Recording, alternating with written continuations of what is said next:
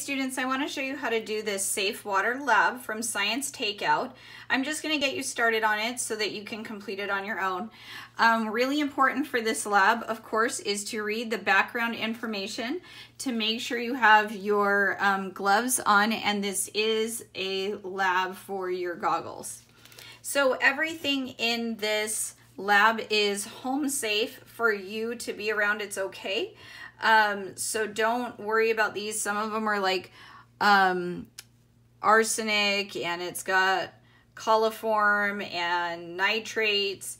Uh, these are all simulated things, so um, they're not a danger, but you should still be really careful with the protective gloves and eyewear and be careful when you are doing this, that it's um, that you take precautions. Okay, so in this um, background, you're going to read about part one, the case of the ailing infant. So a sick infant that is five months old, has had um, vomiting, diarrhea, bluish skin, weakness, and increased in breathing rate. You're going to read about the patient's history and how they just moved to this area with well water. And then the recommendation is that things should be tested. I expect you to read that more in depth so that you um, have a better understanding, but that's just to get you started. Additionally, it's really important to look over this fact sheet with well water safety. Please look up what um, coliform bacteria does, the dangers of that, and nitrates and arsenic. Please make sure you highlight that and go through it and really understand it so you know what we're testing for. That will help you answer the questions later in the lab. So the first part, um, in my prep work here, I want to point out that um, each pipette should go with one um, bottle of solution so they each have their own. You can see that I hand wrote all the labels onto my pipettes. My pipettes came where they were all labeled incorrectly. It said nitrate test solution on all of mine, which means that somebody else probably got them all labeled something else. So um, I just flipped them all over to the back side and I relabeled them. So the well water has one that says well, and um, the nitrate says NIT, so I know that stands for nitrate. Chloroform has has um, coliform has COLI, and arsenic has ARS. So um, if you have something like that, you can fix that mistake on your own, but always make sure that one pipette goes into one sample and that you don't use this same pipette then on a different sample next. Don't do that.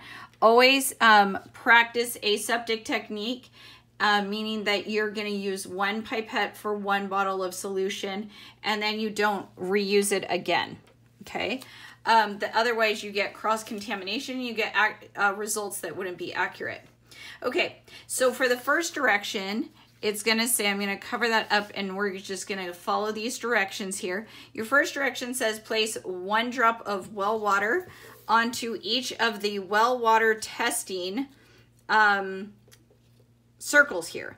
So I'm going to come in here and get my well water sample and I'm going to use my well water pipette here and I'm to pipette out um, one drop it says. So I'm to put one drop. Normally I would put one drop on each of those, but um, I don't want to give the answers away. So I am going to cap that and put my well water back with my well water pipette. Um, once you've done that with each of them, then you're to add one drop of each of the appropriate test solutions. Add one drop to each of those.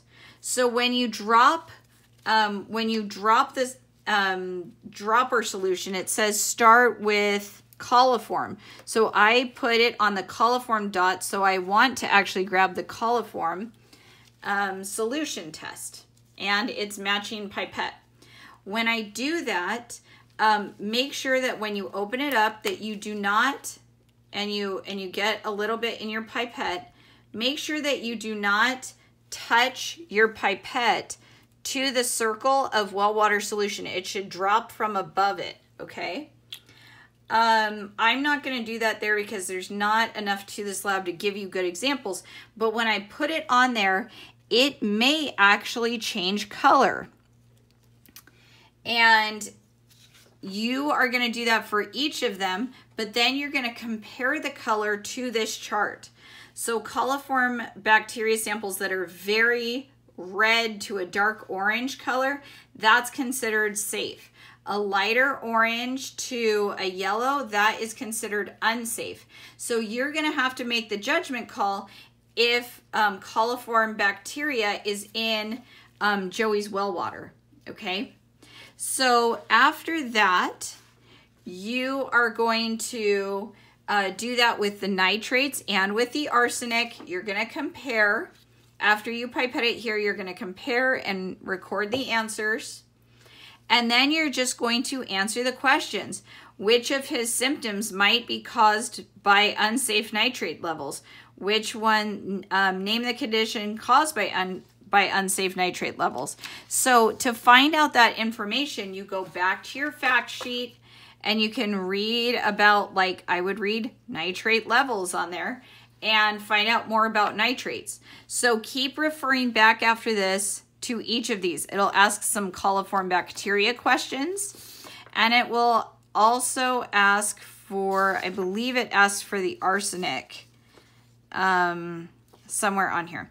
So just make sure you keep referring back to this sheet and then you're going to complete your lab with um, what are the likely contaminants, and you can find some of that information here from likely contaminants and listed three three actions that Joey's family should do. This to improve Joey's health.